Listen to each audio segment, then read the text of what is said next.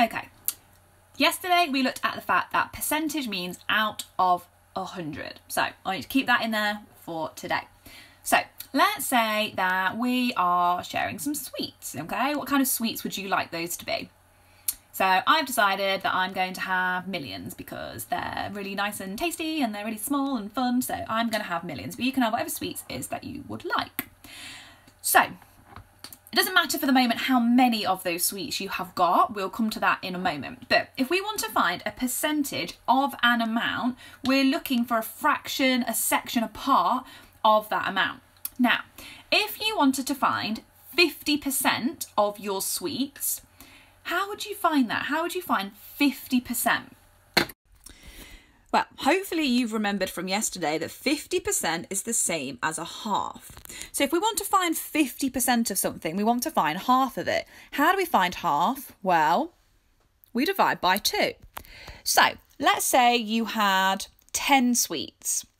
And I want you to find 50% of those sweets. I want you to find 50% of 10. I want you to find half of 10. And to do that, you divide by 2. 10 divided by 2 is 5. So 50% of 10 is 5. Right. This time, you're going to have 200 sweets. And I want you to find 50% of 200. So to find 50%, we need to half it. We need to divide by 2. So half of 200 is 100. For my next one, I want you to now find 25% of your sweets. Hopefully, you remember from yesterday that 25% is the same as a quarter. And to find a quarter of something, we divide by 4. So if I said to you, I want you to find 25% of 40, I want you to find a quarter of 40, and to find a quarter, we divide by 4. So to find 25%, we divide by 4. 40 divided by 4 is 10. What about them if I wanted you to find 10%? And hopefully you're starting to see a little bit of a pattern here. So if I want to find 10%, that's the same as a tenth, because that is a tenth of a hundred. And if I want to find a tenth of something, I divide by 10. I split it into 10 parts. So if I wanted to find a tenth of 500, I would do 500 divided by 10, which is 50. And for this one, if I want to find 1% of something, what do I do to 100 to get to 1? I divide it by 100. 1% is the same as 1 hundredth, which means to find it, I need to divide by 100. So if I had 600 sweets and I wanted to find 1%, I would do 600 divided by 100, which would be 6. Now, we can use these percentages, we can combine them, we can add them, we can take them away to work out any other percentage. I'm going to show you how to do that now. So, this time you've got 400 of your sweet. So, I've changed from millions now, so I couldn't draw millions. So, I've gone for like a chocolate eclair type sweet. So, I've got 400 of these sweets, and I want to work out, I'm going to go for 30%. I want to work out what 30% of my 400 sweets are. So, the way I would do it is I always start with 100% because that shows me what I'm starting with. If I had 100% of my 400 sweets, I'd have how many sweets? 400. Right, now I'm going to work out all these different percentages, and hopefully, you'll start to see how you can use these to create any other percentage. So, what do I do to get from 100 to 50? Well, I divide by 2 because 50% is a half of 100, and to find a half, we divide by 2. So, to find what half of 400 is, to find what 50% of 400 is, I also divide it by 2, which would be 200. To find out 10% then, I would go from 100 to 10, I would divide by 10 because 10% is the same as one tenth of 100. And to work out a tenth, I divide by 10. So, how do I work out 10% of 400? I divide by 10, which would be 40. And the last one, which I'll have to go for in orange again.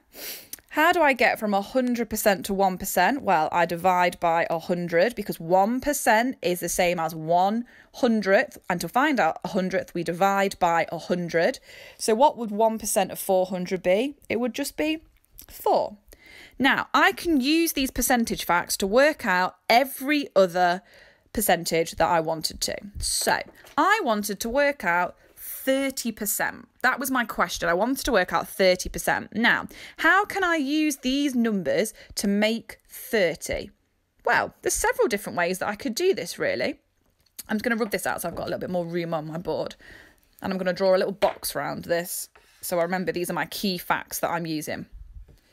So, what I could do to make 30 is I could start at 100, I could take away 50, which get me to 50, take away 10, take away 10. That would get me to 30. I could start at 1, times it by 30.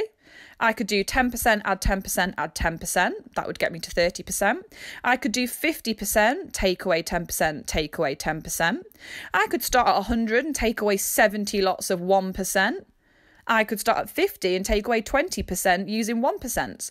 There's so many different ways that you can do it. But this is where you need to start thinking about what's the most efficient way. Now, some people will always prefer to work out 1% and multiply it to get 30. So, you, for example, you would times by 30 in this example. For me, I always like working with 10%, and that's just my personal preference. You might want to do this a different way. So, I'm going, I know that 10% and you can either add 10% and add 10% again, or a quicker way of doing this would be to do 10% times by 3. I know that either of those would get me 30%. Now, 10% is 40 sweets, and I'm going to draw sweets here so I don't get confused. So, 10% is 40 sweets. That's my little sweets. Add 40 sweets, because I'm adding another 10%. Add another, ooh, 40 sweets because that's also 10%. 40 add 40 add 40 is 120 sweets. So that's one way I could work out this answer. Second way, I could do 10% times 3. Now, 10% is 40 sweets, so I'm going to do 40 times by 3, which is 120. Same answer. Now, to prove that this is correct, I'm going to try it a different way. So this time I'm going to start at 50% and I'm going to take away 10% and I'm going to take away 10% because 50 take away 10 take away 10 would get me to 30. So 50% was 200. So always remember to put the numbers in. So that's 200. Take away 10, well, 10 is 40. Take away another 10%, which is also 40. So 200 take away 40 is 160. Take away another 40 is 120 sweets.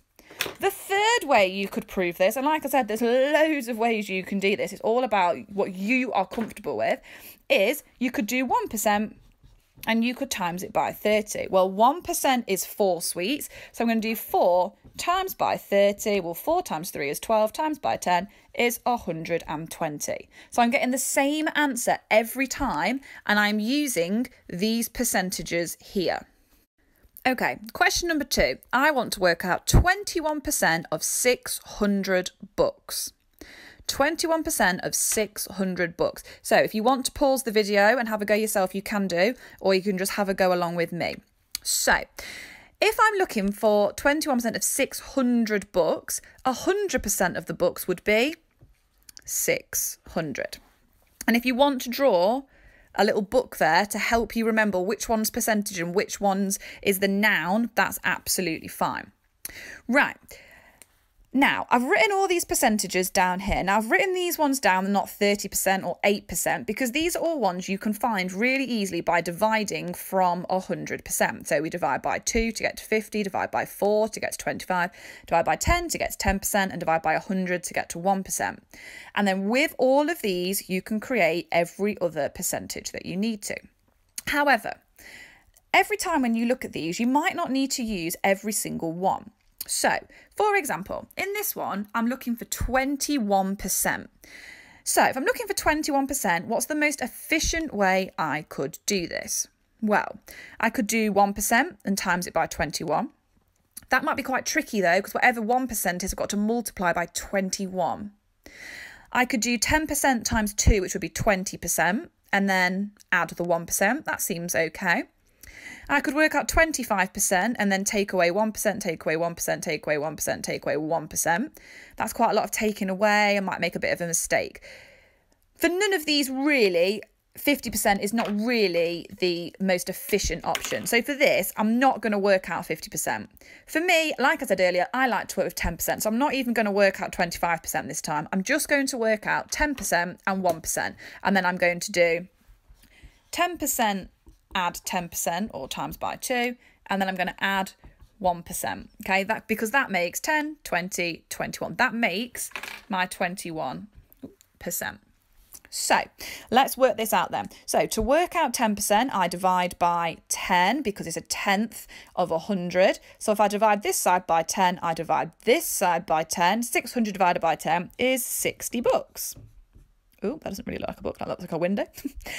now I want to work out 1%, so I can either divide this by 100 or I can divide 10% by 10. Okay, you do it either way. So you could work out 100% divide by 100, or you could start at 10% and divide by 10. Either way, if you divided this 600 by 100, you would get 6. If you divided 60 by 10, you would also get 6. So 1% is 6 books. So now I need to try and use these to make 21%. Well, 10% is 60, so that's 60 books add 60 books add 1%, 1% is 6, so this is going to be 126 books. Right, for my next problem, I'm going to just do a different percentage, but I'm keeping the total the same because I want you to see how you can use these numbers, these percentages, to work out any percentage. So this time I want to work out 62% of 600. So 100% stays the same, 10% stays the same, and 1% stays the same. Now, if I want to do 62%, I could do 10% times 6 to get 60, add 1%, add 1%. But I want to try and go with 50% because I think that's going to help me. Why would that help me? How could I get 62% using 50%? Well, I could do 50% and I can add my 10% and then I can add 1%, add 1%. That's going to be 50, 60, 61, 62. So I need to work out 50%. To work out 50%, what do I do to get from 100 to 50? I divide by 2 because 50% is the same as a half. So I divide by 2. 600 divided by 2 is 300. So 50% is 300 books. Add 10%, well, 10% is 60. Add 1%, well, 1% was 6. Add another 1%, also 6. So 360, add 6, add 6, 6 add 6 is 12. So it would be 372 books. Don't forget your noun at the end. Okay, time for you to have a go. So this time we've got 8,400 flowers. We've got some flowers. We've got 8,400. So down the left hand side, I've written all my percentages that I can find really, really easily. And then down the right hand side, I've written three percentages that I want you to find. So I want you to find 63% of 8,400, 24% of 8,400, and 99% of 8,400. So think about all the percentages you've got on the left hand side. What's the most efficient way to use those to create the other percentages? Pause the video and have a go. Okay, so to work this out, first of all, I'm just going to work all of these out because I think I'm probably going to need them at some point to work all of these out. But normally I would say look at your percentage and see which ones you're going to need. So 100% of 8,400 is obviously 8,400. 50% we divide by 2, so that's 4,000 200. 25% we divide by 4, or we can also divide this by 2, which would be 2,100. 10% we divide 100% by 10, so it would be 840 flowers. And 1% we divide 100% by 100, so it would be 84 flowers. Right, now we've done that, let's make these percentages. So for 63%, I'm going to go for 50%. I'm going to add 10% and then I'm going to add 1%, add 1%. Ooh, just got room, add 1%. You might have done it a different way, and that's okay. So 50% was 4,200. Then I'm going to add 10%, which is 840. And then I'm going to add 84, add 84, add 84. Right, I can't do this one in my head, so you might want to do this one as a column method. So I've done it in one long column method, but you could have done it a few at a time if you wanted to. So 0 add 0 add 4 add 4 add 4 is 12. Leave the 2, rename your 1. 4 add 8 add 8 add 8. Well, it's 8, 16, 24, 28. Add 1, 29. Leave your 9, rename your 2. 2 add 8 is 10. Add 2 is 12. So leave your 2, rename your 1. 4 add 1 is 5. So 5,292. So my answer for the first one should be 5,292 flowers. Right, next one then. 24%. Well, I'm going to do 25%. I'm going to take away 1%.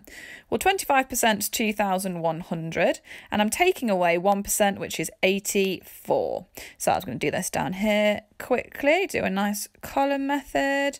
Oh, lots of renaming. That would be 9, that would be 10. So it would be 6. 9 take away 8 would be 1. 0 take away nothing would be 0. And 2 take away nothing would be 2. So it would be 2,016 little flowers. And for the last one, this is one that tricks loads and loads of people. They start doing 10% times 9, 1% times 9, adding it together. Well, why don't we just do 100% and take away 1%? So 100% is 8,400, and we're going to take away oh, might run out of room here. We're going to take away 84. Well, can't do 0 take away 4, so I need to rename. Can't do 0, there's nothing to rename here, so we go all the way over here. So this becomes 3, this becomes 10, this becomes 9, that becomes 10. 10 take away 4 would be 6. I have to write right over here because I'm out of room on my board. 9 tens take away 8 tens is 1 10. 3 tens take away nothing is 3. And 8 thousands take away nothing is 8. So it'd be 8,316 flowers. Well done. That is a little bit tricky, but hopefully you gave it a really good go. So, next one then is Hegarty, and it's number 84. So, have a go at Hegarty, number 84.